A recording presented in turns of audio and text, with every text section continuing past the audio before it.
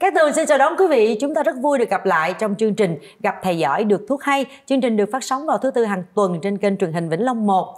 À, thưa quý vị ơi, ông cha ta có câu thập nhân cũ trĩ, có nghĩa là cứ khoảng 10 người là đã có 9 người bị bệnh trĩ rồi. Nhưng mà vì đây là một căn bệnh nó hơi tế nhị nó hơi là khó nói cho nên ít ai mà dám đem đi khoe cũng không ai dám đi hỏi cũng không dám tư vấn không dám đến bệnh viện luôn. Cho nên thông thường thì những bệnh nhân là phải tự điều trị một mình. À, có nhiều khi là dẫn đến cái tình trạng bệnh nó kéo dài và thậm chí bệnh nó còn nặng hơn nữa. À, và để hiểu được cái sự khó nói khó chia sẻ này thì ngày hôm nay chúng ta sẽ cùng nhau tìm hiểu một cái chủ đề đó chính là dấu hiệu nhận biết bệnh trĩ cách điều trị an toàn và hiệu quả từ thảo dược và bây giờ chúng ta sẽ đến với phần 1 hiểu đúng chữa hay và chúng ta cùng gặp gỡ tiến sĩ bác sĩ Nguyễn Thị Sơn đến từ Đại học Y Dược Thành phố Hồ Chí Minh. Dạ các Tường xin chào bác sĩ ạ. À. Vâng, chào MC Cát Tường. Kính chào khán giả của chương trình. Và các tường cũng xin cảm ơn nhãn hàng Cochi Pro đã đồng hành cùng với chương trình. Và ngay bây giờ nếu như quý vị còn có những thắc mắc gì về chủ đề ngày hôm nay, quý vị cũng có thể gọi điện thoại trực tiếp đến số hotline đang hiển thị trên màn hình quý vị nhé. Và bây giờ chúng ta sẽ đến với nhân vật của ngày hôm nay, đó chính là chú Nguyễn Đức Lụa ờ, ở Đắk Lắk để tìm hiểu xem là tình hình sức khỏe của chú như thế nào.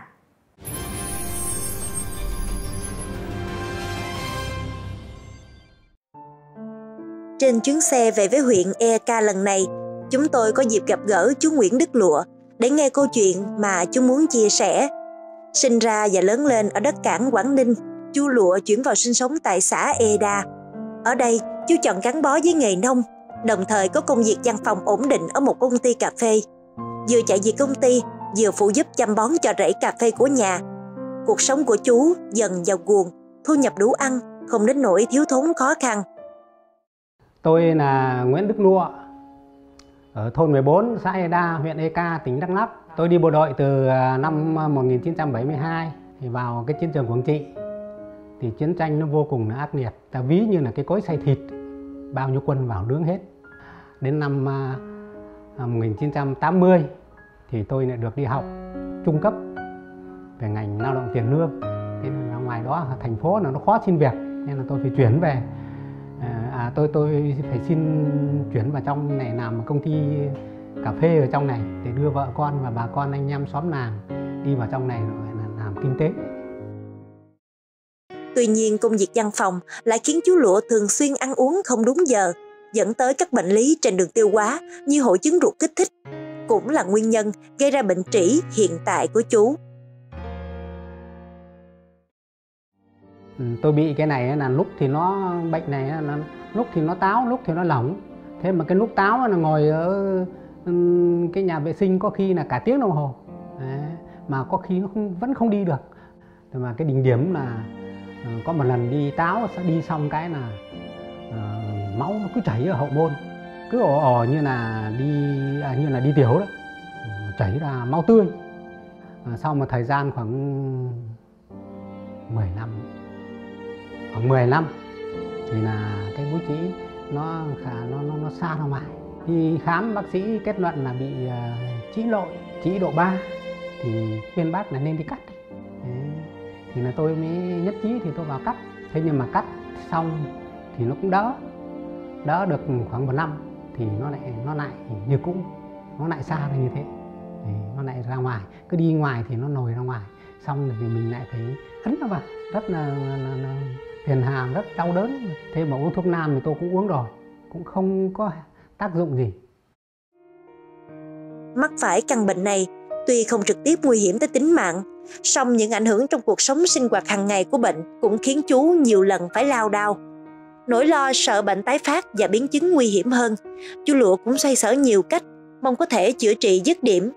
Nhưng mọi cố gắng của chú đều không gặt cái được kết quả chú đành chấp nhận chịu sự hành hạ mỗi lần búi trĩ xa xuống.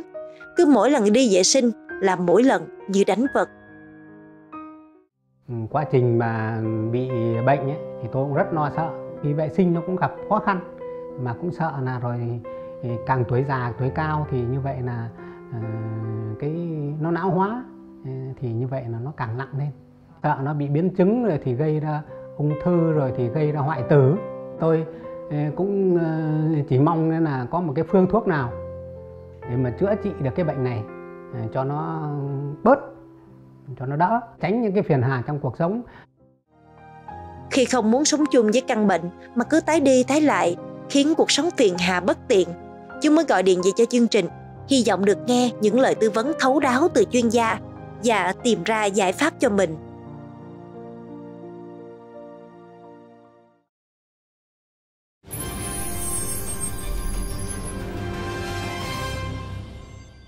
Dạ ờ, thưa bác sĩ, như cái phóng sự vừa rồi thì chúng ta thấy là uh, chú lụa gặp phải một cái vấn đề khó khăn là khi đi vệ sinh đó thì nó rất là khó và nó bị xa cái búi trĩ. À, có nghĩa là mỗi lần đi thì búi trĩ nó sẽ bị xa xuống và như vậy thì nó ảnh hưởng rất là nhiều đến chú luôn.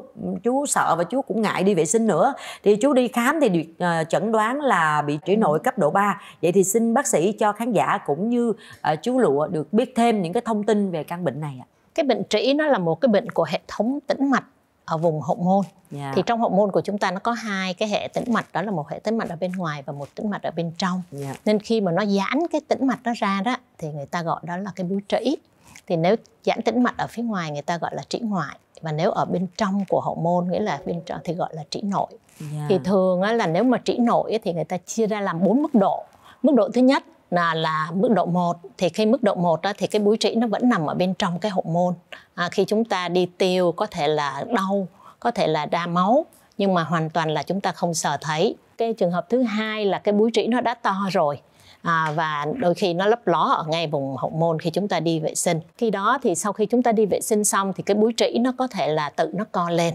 Trường hợp à, giai đoạn 3 là người ta gọi là búi trĩ độ 3 đó là khi đó là búi trĩ khi chúng ta đi vệ sinh thì búi trĩ có sẽ xa ra ngoài.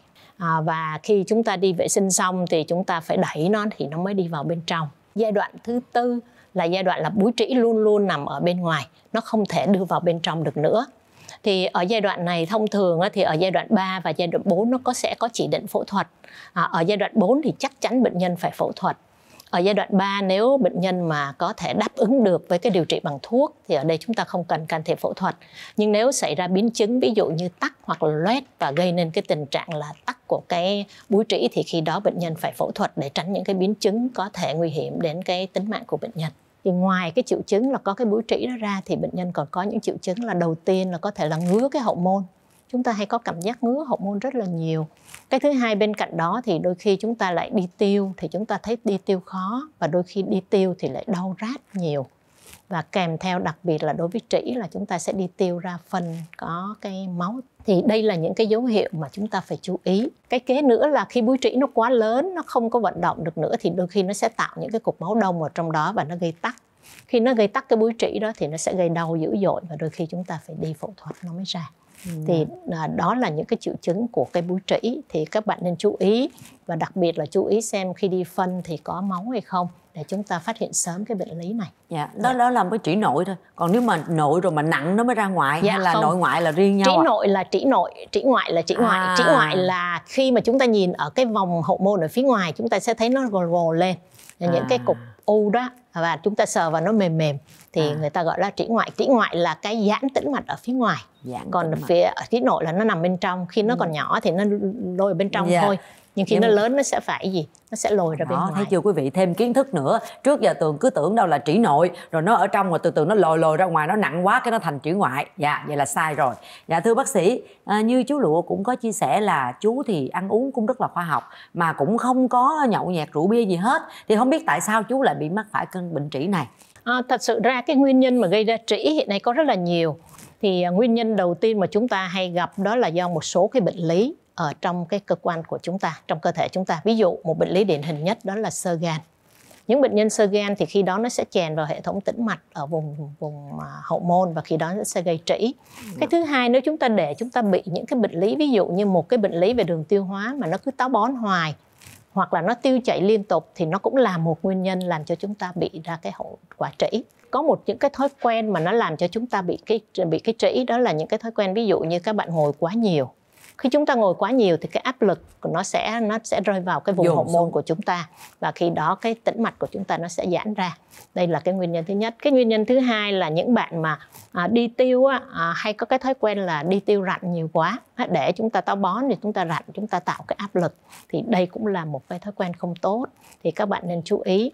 Dạ như vậy thì ờ, với những cái triệu chứng của chú lụa thì bây giờ là nếu mà không có mổ đó thì chú sẽ áp dụng những cái biện pháp nào để hỗ trợ cho uh, nó, nó, nó, nó cái căn bệnh của chú cái đầu tiên là nếu mà chú có điều kiện thì chú nên đi khám để xem phát hiện ra xem mình có bị những cái bệnh lý gì không tôi lấy ví dụ như bệnh lý gan hoặc là bệnh lý rối loạn tiêu hóa chẳng hạn yeah. Dạ. khi bác sĩ đã xác định là mình không có bị cái đó rồi thì cái đầu tiên là chú phải xem lại cái chế độ dinh dưỡng của mình có nghĩa là ăn uống như thế nào để cho chúng ta đi tiêu cho nó tốt đều đặn và dễ dàng. Ngoài ra thì cũng nên có một cái chế độ ăn đầy đủ rau củ quả và như vậy nó sẽ giúp cho cái hệ thống tiêu hóa của chúng ta tốt hơn và như vậy nó sẽ giúp cho cái búi trĩ của chúng ta hoàn tốt hơn.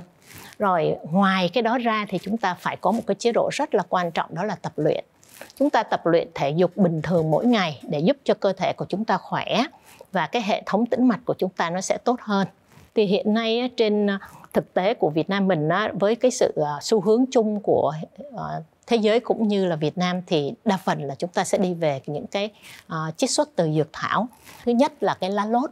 Lá lốt từ lâu đời đã được coi là một cái loại dược thảo có tác dụng kháng viêm và giảm đau rất là tốt.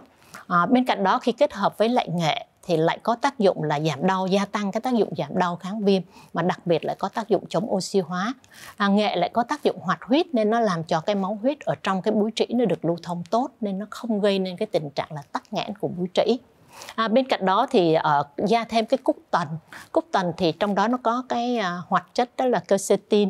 Quercetin lại có tác dụng là hỗ trợ tăng cường cho cái kháng viêm và giảm đau. À, và bên cạnh đó lại có tác dụng là chống oxy hóa là làm lành vết loét chống oxy hóa là nó sẽ làm cho gì? Cho những cái tế bào tổn thương nó sẽ mau lành hơn. À, ngoài ra thì trong đó có cây có bổ sung thêm cái cây du đỏ. À, một cái nghiên cứu được đăng trên thư viện y khoa của Hoa Kỳ thì cho thấy cây du đỏ nó có một cái hoạt chất đó là sliperin à, có tác dụng là à, làm cho cái à, nhuận trường. Và như vậy nó sẽ giúp cho bệnh nhân là đi tiêu được dễ dàng hơn và nó sẽ giúp cho cái búi trĩ của chúng ta được phục hồi tốt hơn khi sự kết hợp của các cái à, dược thảo này, nó sẽ giúp cho đầu tiên là những bệnh nhân có bị trĩ nội hoặc là trĩ ngoại vẫn có thể sử dụng được, thì nó sẽ giảm đi cái kích thước của búi trĩ là một. Cái thứ hai, nó giảm đi các triệu chứng như đau rát hoặc là ngứa của hậu môn. Và cái thứ ba, khi chúng ta sử dụng lâu dài thì nó sẽ làm cho búi trĩ của chúng ta bị co nhỏ lại. Và nếu chúng ta sử dụng như vậy thì nó tránh những cái biến chứng không có tốt cho cái cái chúng ta như là bị tắc của cái búi trĩ chẳng hạn. Cochi Pro dùng cho người bị chi nội, chi ngoại với các biểu hiện chảy máu, xa búi trĩ, đau rát hậu môn. Cochi Pro với thành phần Slippery M nhập khẩu từ Hoa Kỳ hỗ trợ tăng sức bền thành mạch, giảm các triệu chứng của trĩ. Sản phẩm hiện có bán tại các hiệu thuốc trên toàn quốc. Cochi Pro dùng cho người bị chi nội, chi ngoại với các biểu hiện chảy máu, xa búi trĩ, đau rát hậu môn. Cochi Pro với thành phần Slippery M nhập khẩu từ Hoa Kỳ hỗ trợ tăng sức bền thành mạch, giảm các triệu chứng của trĩ. Sản phẩm hiện có bán tại các hiệu thuốc trên toàn quốc. Dạ, yeah, cảm ơn những chia sẻ rất là bổ ích của bác sĩ nha. Như vậy thì cũng giúp ích được rất là nhiều cho tất cả chúng ta nếu như ai đó đang mắc phải cái chứng bệnh khó nói này thì mình cũng có thêm những cái kiến thức để tìm thấy những cái sản phẩm có những cái thảo dược mà có thể hỗ trợ cho cái căn bệnh trĩ này. Kính thưa quý vị, bây giờ thì chúng ta sẽ cùng ờ, quay trở lại và gặp gỡ nhân vật của chương trình để xem tình trạng sức khỏe của chú ấy như thế nào nhé.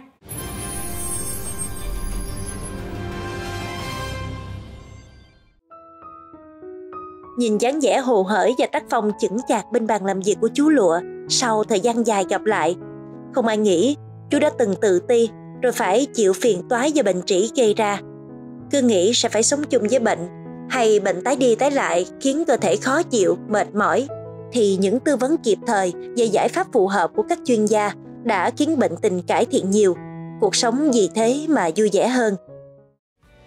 Tôi tìm đến ờ, giải pháp à, dùng cái sản phẩm có chiết xuất từ đá nốt và nghệ. Ngoài ra thì còn có ngải cứu cúc tần đương quy và diếp cá. Thấy là nó đỡ và từ cái chỗ mà nó nồi ra khoảng bằng đầu ngón tay thì tôi thấy là nó qua lại chỉ còn bằng hạt gạo thôi. Đi ngoài là nó dễ hơn không còn táo nữa. Chứ không có ừ, phải ngồi lâu. Nó rất là nhẹ nhàng. Đi ngoài là thấy nó thoải mái mà đi rất là nhanh thì à, trong quá trình sử dụng thì không thấy có cái tác dụng phụ gì thế là tôi mừng quá thế và rất là yên tâm thấy rất thoải mái thấy rất tin tưởng ở cái sản phẩm này Nhờ tìm được giải pháp phù hợp, nỗi ám ảnh khi phải chạy đi chạy lại vào nhà vệ sinh cũng không còn nữa. Thay vì quãng thời gian dài phải mệt mỏi nhìn từng ngày trôi qua trong buồn chán, thì nay chú Lụa có thể xông xáo hơn, sắn tay phụ giúp vợ con những công việc trong gia đình. Giờ có sức khỏe, chú Lụa cũng như bao người khác, chỉ mong được gia đình êm ấm thuận hòa. Những giây phút xum vầy bên nhau, cùng nở những nụ cười thật vui vẻ mới là món quà ý nghĩa nhất trong cuộc đời.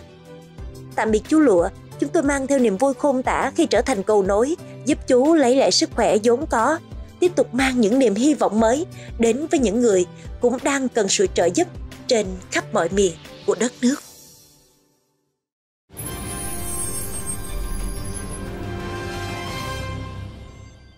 Dạ, hôm nay thì thấy là sắc mặt của chú Lụa cũng hồng hào hơn rất là nhiều rồi Tình trạng sức khỏe cũng ổn định hơn Không có còn hoang mang lo lắng như trước đây nữa. Và bây giờ thì chúng ta sẽ đến với phần 2 của chương trình Cười vui sống khỏe và cùng gặp gỡ MC Quang Bảo. Nhãn hàng Cochi Pro thân hành đồng hành cùng chương trình.